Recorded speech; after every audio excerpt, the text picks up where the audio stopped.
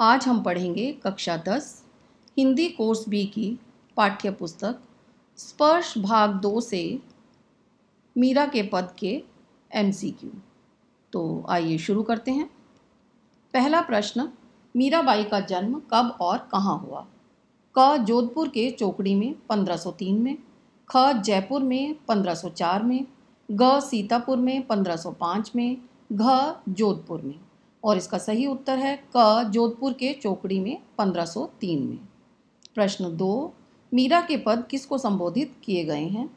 क, मेवाड़ के राणा सांगा को, ख, अपने आराध्य को, ग, अपने पति को, घ, अपने पिता को। और इसका सही उत्तर है ख, अपने आराध्य को। प्रश्न तीन, मीरा कौन सी भाषाओं की कवित्री मानी जाती हैं? क, गुजराती और राजस्थानी, ख, हिंदी और गुजराती ग, हिंदी और मराठी, घ, सभी। और इसका सही उत्तर है क, गुजराती और राजस्थानी। प्रश्न चार, मीरा की शादी किस आयु में हुई? क, बारह वर्ष की आयु में, ख, ग्यारह वर्ष की आयु में, ग, तेरह वर्ष की आयु में और घ, सत्रह वर्ष की आयु में। इसका सही उत्तर है ग, तेरह वर्ष की आयु में। प्रश्न पाँच, मीरा किसकी शिष्या थी? क, संत रविदास, ख, संत रैदास ग संत रवीश दास, घ संत दास और इसका सही उत्तर है ख संत रैदास।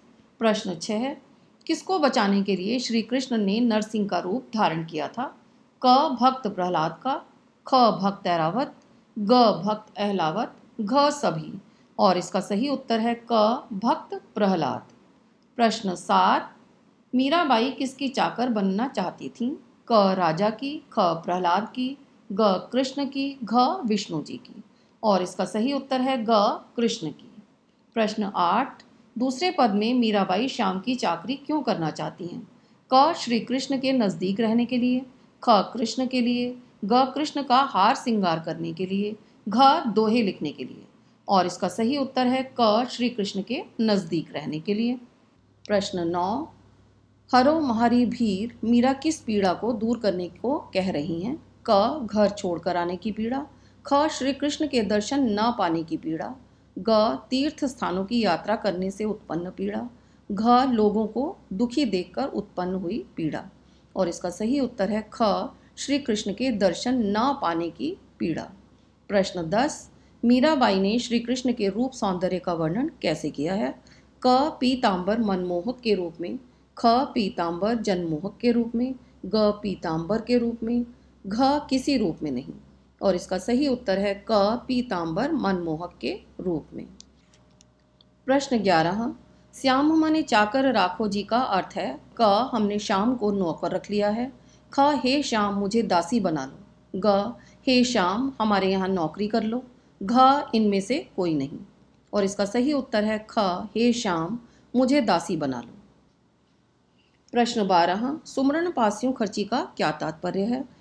क जेब खर्च के रूप में प्रभु स्मरण को पाऊँगी। ख, जेब खर्च के लिए बहुत रुपए मिलेंगे। ग, याद करने से ही पैसे प्राप्त हो जाएँगे। घ, इनमें से कोई नहीं।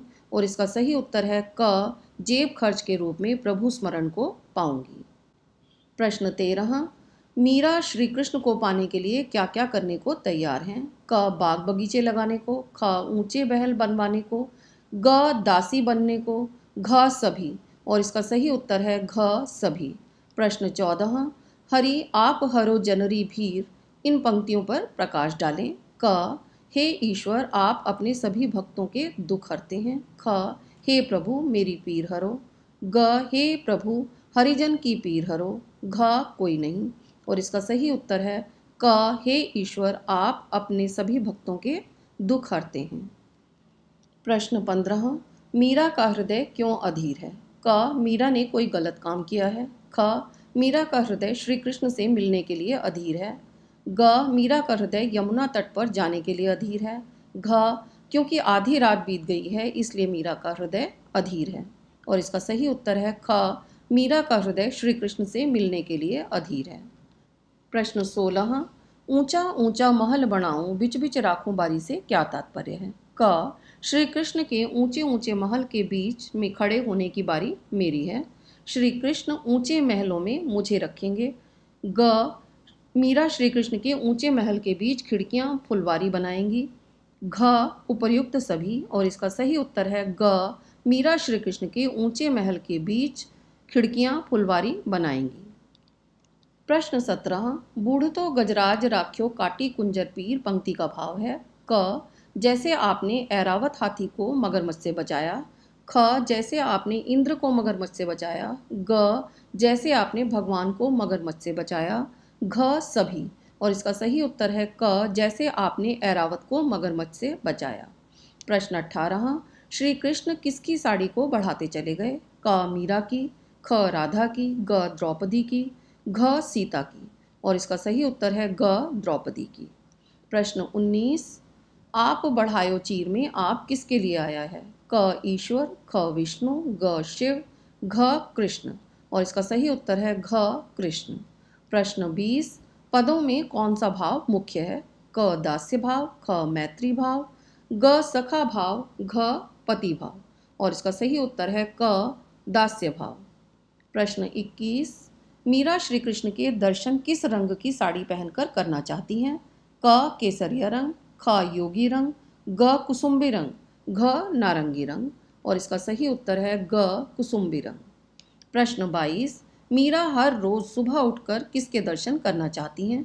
क श्री राम के, ख अपने पति के, ग श्री कृष्ण के, घ पिता के और इसका सही उत्तर है ग श्री कृष्ण के।